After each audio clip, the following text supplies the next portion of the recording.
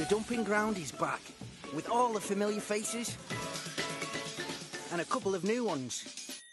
There are some ups I'm getting a mum and a sister. and some downs, You've told everyone! Nothing is going to change what I feel about it. but life still goes on at the DG. This is Care Work in action. So get ready for brand new The Dumping Ground.